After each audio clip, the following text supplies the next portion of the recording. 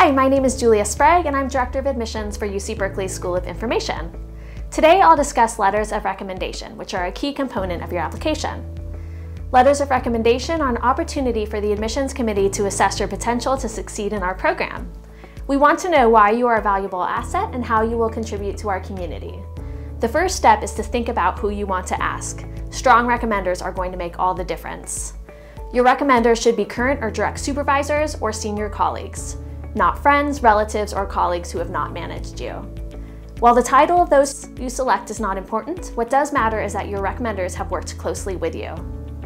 They should be able to attest to your value as an employee and your accomplishments. They should also be able to speak to your personal qualities in a professional context.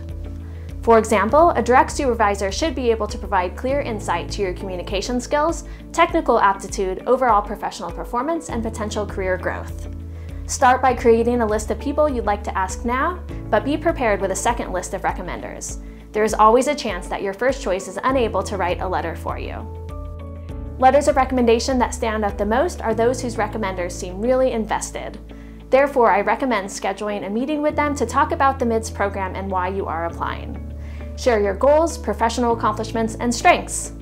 Also be sure to ask them as soon as possible so they have plenty of time to write a thoughtful letter filled with strong examples. Good luck with your application.